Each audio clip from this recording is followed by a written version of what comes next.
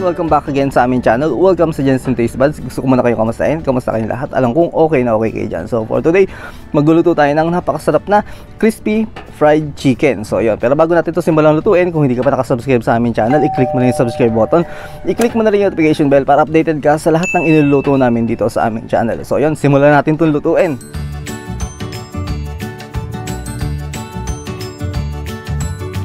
So ito guys, first step na gagawin natin dito, titimplahan muna natin itong ating manok. Titimplahan na natin, lalagyan muna natin ito ng bawang. So ayan. Next step, lalagyan na tayo dito ng paminta. So depende sa inyo kung ganong karaming paminta ang gusto nyong ilagay.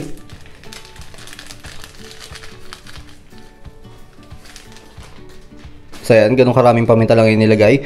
Next step, paglalagay tayo dito ng kalamansi. Ayan. Yung dami ng kalamansi na nilagay namin dito ay nasa pitong piraso. Maganda kasi mas marami. At next step na gagawin natin, maglalagay tayo dito ng patis. So ayan. Konting patis lang yung nilagay ko para hindi naman masyadong maalat. So next step na gagawin natin dito, yung mamarinate lang natin ito ng 30 minutes hanggang 1 hour. Pero mas magandang gawin, i-marinate ito ng overnight. So, hayaan lang muna natin. So, ito guys, dahil na-marinate na namin yung aming manok. So, bali, minarinate namin to ng 2 hours. So, yan. Ang next step na gagawin namin dito is pakukuluan naman namin ito. So, yan. Hayaan lang natin ito na ma makuluan para mas lalong lumasa yung inilagay natin dito. Yung patis, bawang, at saka yung ano, para mas lalong manuot. At saka para pag pinirito natin, siguradong lutong-luto yung loob ng manok. So, yan. Hayaan lang na muna natin na makuluan ito guys, napakuluan na namin yung manok. So, next step na gagawin natin dito, ay nilagay ko muna sa isang plato at palalamigin muna natin ito. Hayaan muna natin na lumamig. So, ito guys, dahil napalamig na namin yung manok na pinakuluan namin. So, next step na gagawin natin is meron tayo ditong mixing bowl. So, ang gagawin natin, ilalagay natin yung ating manok. Lagyan muna natin yung ating manok. Hindi natin lalahatin, kumbaga isa-isa lang.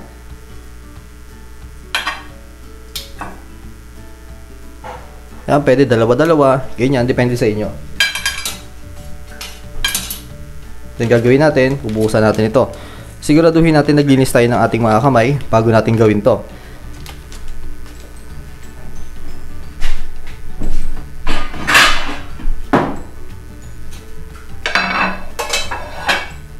Pinakamaganda siguro dito, damihan ko na. Kasi baka sa isa lang dumikit halos lahat yung ano, crispy fry. So kung napapansin nyo, hindi na tayo gumamit dito ng itlog.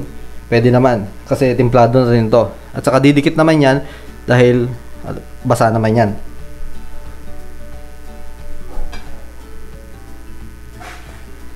Nga pala, ito ay isang buong manok. Yan, buhos natin lahat. So habang ibinubuhos natin yan, kaya dapat naghugas tayo natin mga kamay kasi babalik rin natin yan sa isa. Para lahat malagyan. 'Di ba? Hindi lang yung kabilang part, kundi lahat.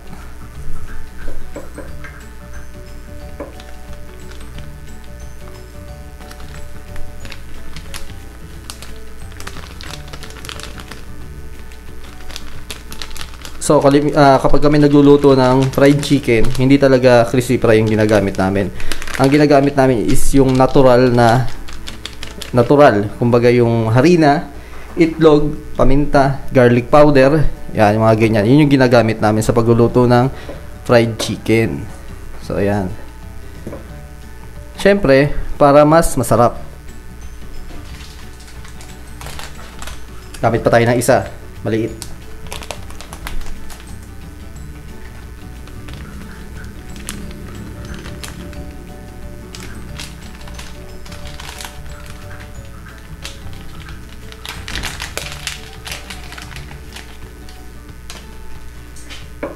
So sa paggawa naman ng gravy nito, uh, napakasimple lang naman ng paggagawa. I-check niyo yung aming ibang pagluluto ng fried chicken, gumawa kami ng gravy.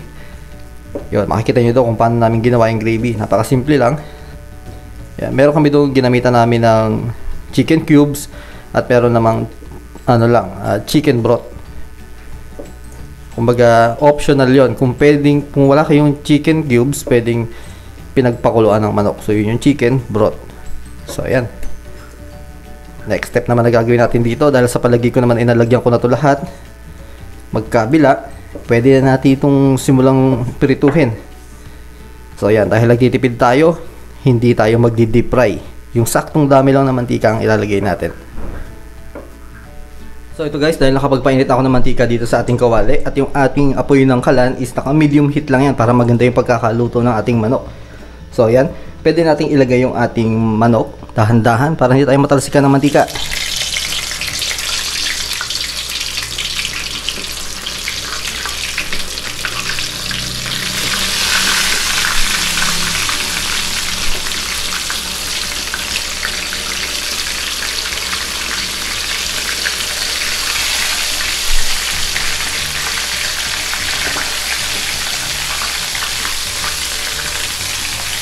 So ayan, hindi tayo nag-deep fry. At saka mabilis lang itong maluluto. Kasi yung loob naman ito, luto na rin dahil napakuluan na rin natin to. Yun isa sa kagandahan. At ang kagandahan pa dyan habang pinakukuluan natin to, mas lalong nanuot yung lasa ng ating patis, bawang at saka yung paminta. Yung, yung pinagmarinatan natin kanina. Talagang pasok na pasok sa loob ng manok. Kaya sobrang napakalasa nito. Bukod dun sa crispy fry na nilagay natin, plado na talaga, mas lalong magiging malasa ito dahil dun sa ginawa nating marination.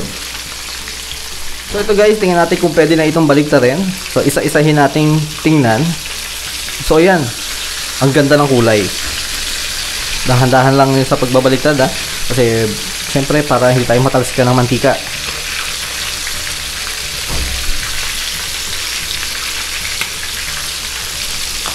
O di ba? Sobrang ganda ng kulay, golden brown. Saka sure na luto yung loob dahil napakuluan natin to kanina. Pero kung deep fry ito at magpiprito kayo ng getot ninyo na pakukuluan, so ang gagawin nyo lang is 7 minutes, 7 minutes. Kung baga tig 7 minutes na ganyan, then pagka naka 7 minutes na, pabalik nyo na. So yun yung mga estimated na kung gaano katagal maluto yung fried chicken, yung pangkaraniwang fried chicken.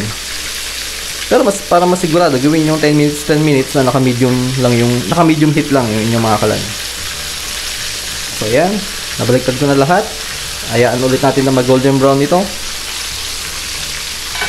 So ito guys, naprito ko na yung ating napakasarap na crispy fried chicken. So tingnan nyo naman ang itsura. Saka sobrang lutong yan. Yun ang isa sa kagandahan dyan. Sobrang nakakagutom.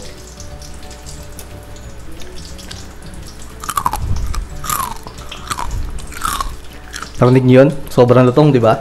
So yun, sana nagustuhan nyo guys yung pagluluto namin ng napakasarap na crispy fried chicken.